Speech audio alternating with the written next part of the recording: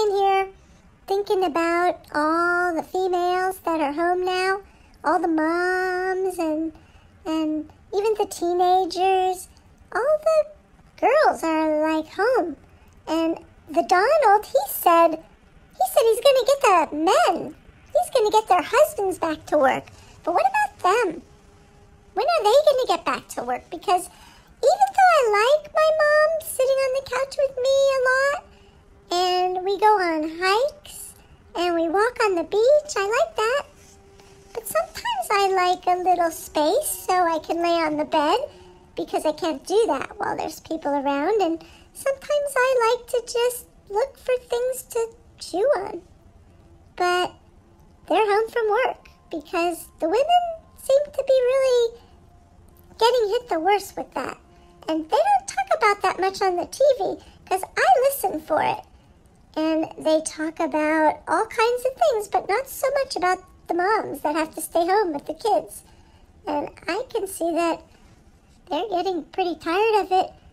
I think they should come in the yard with me and chase the gophers and dig holes and uh, eat the avocados when they fall off the tree, but no, they don't usually do that.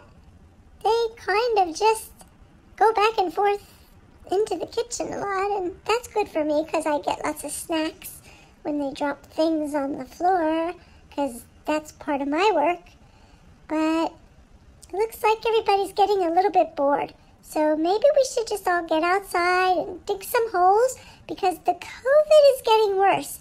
Even though some people say it's not, the guys that don't wear the masks, they say it's not so bad. But the other guys that do wear the masks, they say a hundred thousand people died yesterday. That's a lot of people in one day. Crazy. I wonder how many dogs die from COVID. You don't hear about that much. But anyway, we want to all get back to work, so everybody make sure you wear your mask and stay six feet apart and wash your hands if you can. And if you have thumbs, wash those too. And uh, right things so we can get rid of this COVID and go back to life the way that it is going to be, the new way. Because routines are good. If we don't have routines, we just waste a lot of time. Routines are not habits. Habits get built over time. Routines are something that we create so that we stay productive. Whatever that means. Okay, I gotta go bark at things. Bye!